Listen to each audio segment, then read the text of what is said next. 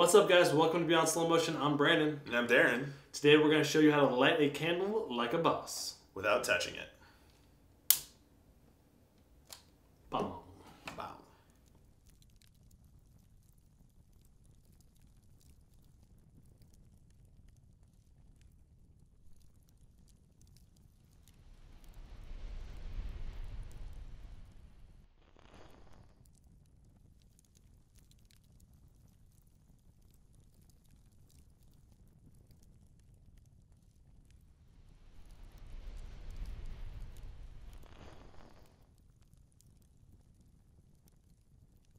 So for those of you who wanted to try this at home, we have a few tips for you guys. So first of all, you want to use some kind of candle putter outer. We're just using another candle holder right now, but you can use one of the you know little tin ones or whatever.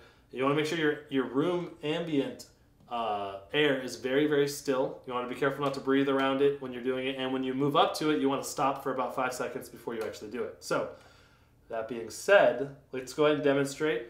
Um, also, when you put your candle holder over it, you want to make sure you move it straight up again so it kind of sucks the air into a funnel, causing the stream of smoke to go into a finely tuned line because that's so much easier to light than when it's bouncing around. So True stuff. True, true. let's go ahead and demonstrate one more time. And boom.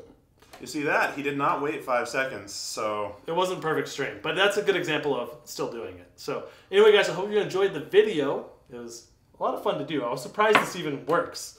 It was really cool. I saw it on the internet and I was like, we gotta try that.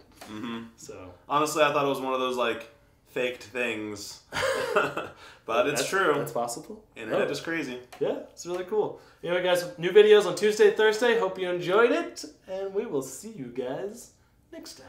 For sure.